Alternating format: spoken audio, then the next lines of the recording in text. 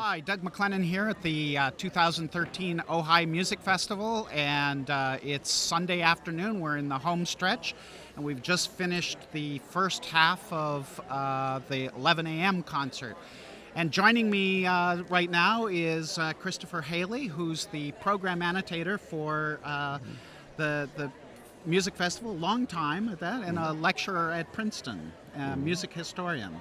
That's Welcome. right. Yes, thank you, Doug. It's great to be here, and I think this is a wonderful, uh, wonderful addition to the program to have these streamed live uh, around the world. Let's hope, and uh, it's great honor to be be with you. Well, I'm glad that you're here. So, aside from Tom Morris and Mark Morris, um, you have probably spent more time uh, looking at all of the threads uh, between all of these pieces, and um, and then in addition, uh, throughout the week, talking with artists and with Mark right, and yeah, and yeah. whatever. Uh, talk to me a little bit about how this all sort of Yeah. Pulls together in a programmatic kind of way. Well, no, no sooner is this festival over than we begin, I begin to think about the next festival because some of the pieces will already be in place. Right. And as the summer and the fall go by, more and more pieces arrive in one form or another. So I, I begin thinking about how these pieces work together. I have the opportunity to, to talk with the music director and with Tom, but mainly I like to dig very deeply into both the, the works themselves and the composers and tease out some of those threads. This year was a wonderful example because we have composers who work so well together, having known each other, worked with each other, and music which shares uh, so much in common. So, so and a lot of my work was actually done by what I was given. But that, that continues then, and uh, by January and February, I begin writing, and I, the deadline seems to get earlier and earlier every year, but around March, uh, then the program is set and my notes are pretty much written.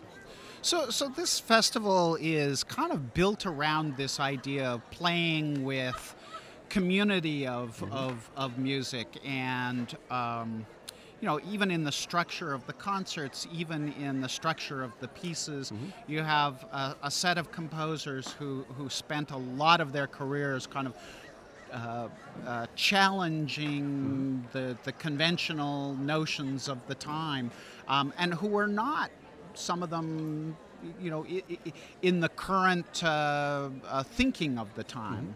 Yeah, I, I think that uh, many of these composers were not what you would call successful in, in their time. Uh, Ives, of course, was wealthy from another source, insurance.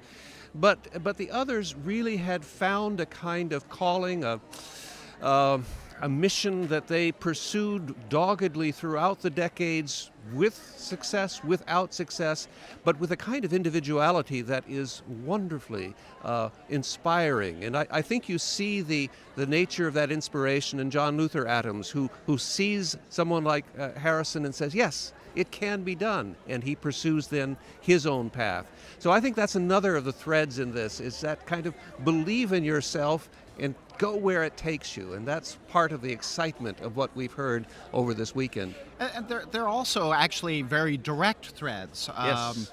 uh, you know, Lou Harrison conducted uh, Ives, uh, the premiere of Ives uh, was Third- it Third Symphony, yes. Um, and Henry Cowell was teacher Mm-hmm. of, you know, of Harrison. You know, that's partly what happens when like minds meet each other. They recognize, they recognize and respect that kind of integrity. And so I, I think uh, the other thing that we have to recognize is that these were extraordinarily generous people. Cowell and Harrison, in particular, had this expansive embrace of ideas, of cultures, and of young people coming up. And that's, that's one of the things that we heard about from John Luther Adams that this is, in fact, a community that's built by a kind of mutual recognition. And uh, we have uh, good examples of that, for instance, in last night's For Lou Harrison, a tribute to his mentor.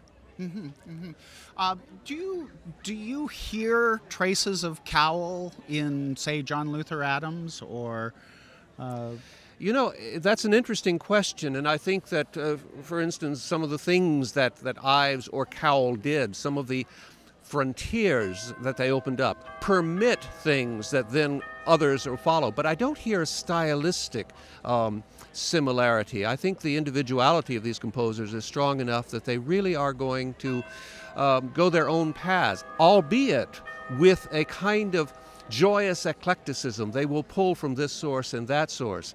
But it would be hard, I think, to come up with something that sort of defines a Cowell style or a Harrison style, um, and that's part of the wonder of it. It's it's really this openness to constant exploration.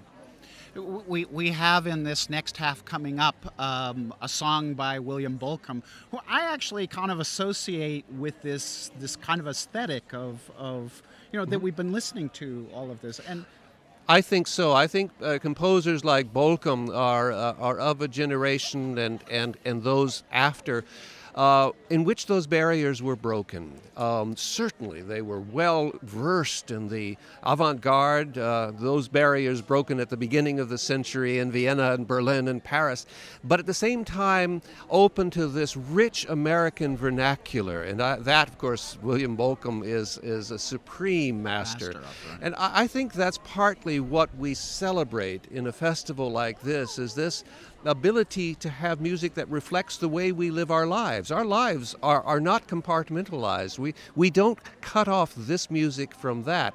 And there's a wonderful opportunity when a composer is as, as fertily imaginative as these are to sort of say, well, let's, let's have that reflected in our concert music as well.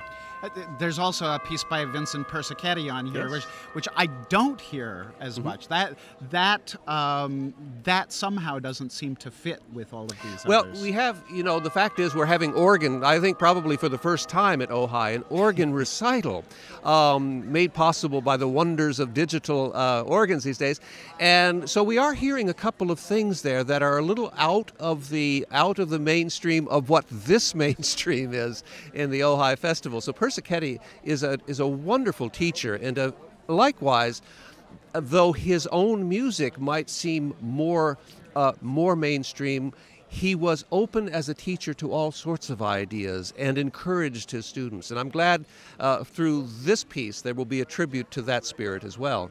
Right, right. Well, well, thank you. We're, we're being called back to mm-hmm. uh, the second half, and um, which starts with this um, kind of face melting um, yes. version that uh, of, of America, uh, a tribute to America Ives. by by Ives, yes. Um, yes. which is the, the one of the really peculiar pieces. Oh, it's a terrific piece, and we'll we'll have great fun. And then a little benediction by Carl Ruggles. That will end the concert with a wonderful, wonderful sense. So, okay. thank you so much. Well, thanks, Chris. It's yep. nice to nice to see you. And uh, join us in just a couple of minutes, and we'll be back with the second half.